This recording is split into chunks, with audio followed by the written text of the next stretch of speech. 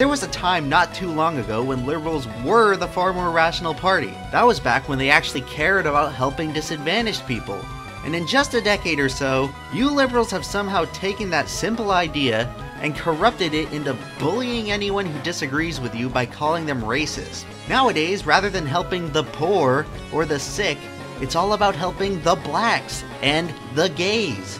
Liberals don't treat people like people anymore. It's all about dividing up everyone by their skin color, gender, and sexuality, the very same principles that real liberals fought against in the 60s. Many of today's liberals will tell you that there's no such thing as a poor white person, because they genuinely believe that the color of your skin somehow makes you privileged.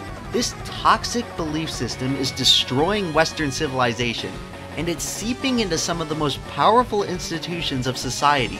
Some of these liberals certainly belong in an institution, and that raises the question what went wrong? How did these liberals become so delusional? Well, I think the answer to that can be found every weeknight on ABC at 1135.